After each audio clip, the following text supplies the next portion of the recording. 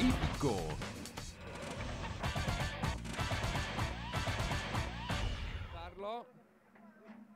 Todo esto lo pueden ver a través del Club Hípico por TLT. Entró Grisman. Ya se acomodó su jinete. Momentos apenas. Tercera válida para el 5 y 6. Piden tiempo allí. Ahora sí. Momentos apenas, todos alineados.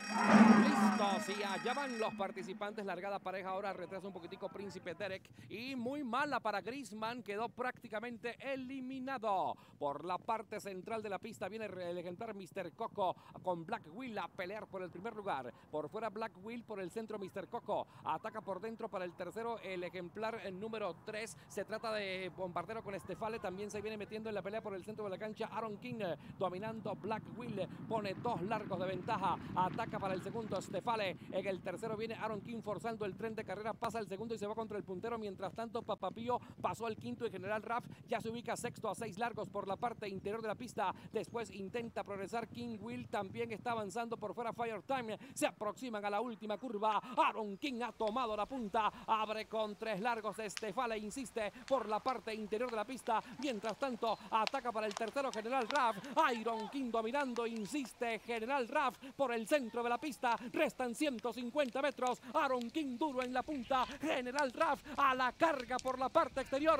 Aaron King adelante. General Raf haciendo esfuerzos. Domina Aaron King. Insiste General Raf. Dominó el 7. Aaron King. Segundo General Raf. Tercero Estefale. Cuarto Papapío. Quinto lejos King Will. Después el ejemplar Fire Time con Príncipe Derek. Más atrás Abuelo Yeye Gris.